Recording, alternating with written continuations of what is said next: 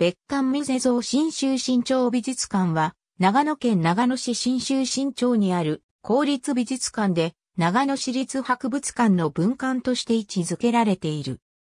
二期改創立委員、栗原新が戦後、新州新町をたびたび訪れ、美術館の建設を提唱したのを受け、1961年に、旧新州新町美術館条例を制定、施設のないまま絵画の収集、保存を行い、1968年に新州新町公民館に展示室を設立、1982年に隣接する有島生馬記念館と同時に現在の美術館が開館した。収蔵作品はすべて作家本人や特殊家からの寄付によるものである。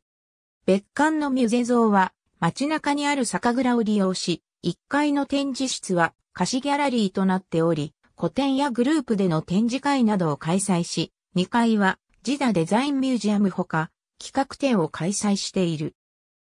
栗原新の水彩が約20点、約3ヶ月水内小学校に投留し新町の風景画を多数残した横井構造の絵画約80点、日本水彩画会創立委員の赤木康信の水彩画約450点、版画家の小泉騎士男の版画と版木約100組200点、青山三雨の書画多数など、水内ダムの風景を愛した作家たちを呼び、特殊家からの寄贈作品のほか、地元の特殊家の寄付による丸山王居、来山陽、佐久間正山、向井純吉、長井雲坪の書画など、約2300点を収蔵、展示し、常設展示や年数会の企画展を実施している。